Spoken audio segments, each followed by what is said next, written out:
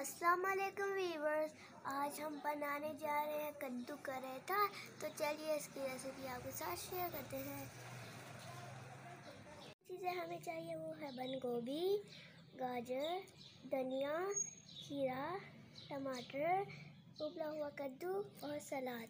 कलौंजी ये है ज़ीरा, ये है चाट मसाला और ये है दही।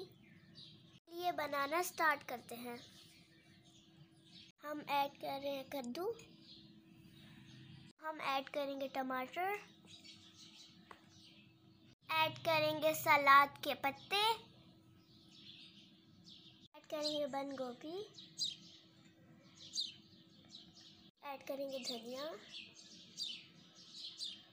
गाजर। हम ऐड करेंगे चाट मसाला, कलौंजी और ज़ीरा ऐड करेंगे दही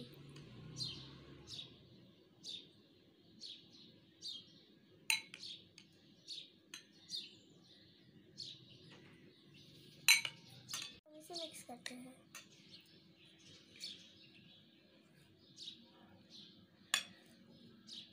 खाने से भी वज़न कम होता है। इसमें नमक और काली मिर्च ऐड नहीं की, आप ऐड कर सकते हैं। देखिए गाइस कद्दू का रायता तैयार हो चुका है। गाइस अगर आपकी वीडियो पसंद आए लाइक कीजिए शेयर कीजिए सब्सक्राइब कीजिए। और हाँ बेल आइकन को दबाना मत भूलिएगा। शुक्रिया, अल्लाह हाफिज़।